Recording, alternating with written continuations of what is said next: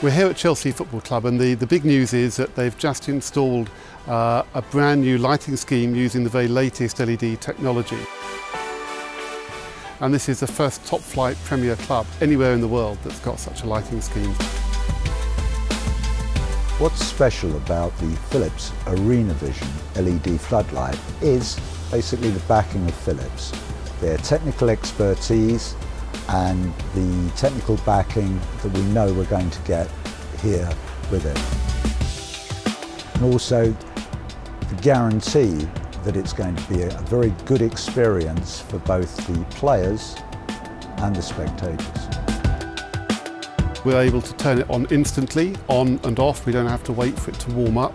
So that gives the club a lot more flexibility in terms of when they run the system, they can run it at a lower level, for example, when the spectators are coming in, and then build it up so that it's at full when the match is running, and then turn it down to a low level again when the, uh, the spectators are moving.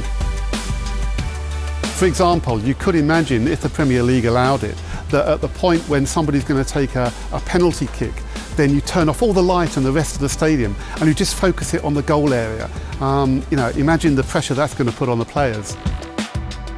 The other big advantage for the broadcast is that this lighting gives them absolutely no flicker, which is what they need when they're using super slow motion, ultra high slow motion camera shots to capture those very enticing shots that you see on television. We get full compliance with uh, the Premier League Section K rules. The other thing is that we can now put on light shows, which is something that's innovative and going to be a first within the Premier League.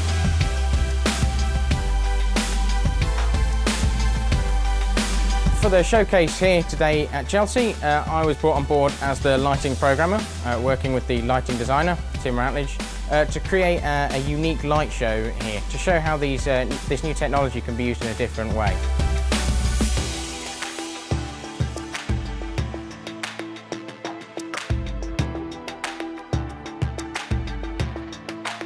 It's really easy um, to integrate an external lighting controller into this system as well. It's been designed in such a way so that a visiting company can simply turn up, plug their system in, and at the switch of a button, control is transferred from the in-house system to the visiting system without any crossover between the two. We can very easily, quickly grab stuff and put some lights up, uh, grab some more, and we can very quickly and easily uh, run an effect across them, select any fixture in the rig itself individually, and again quickly and easily grab it and make it do anything very quickly. One of the main differences is longevity, whereas we had to swap out the HID lamps once uh, every third season to maintain the lighting levels.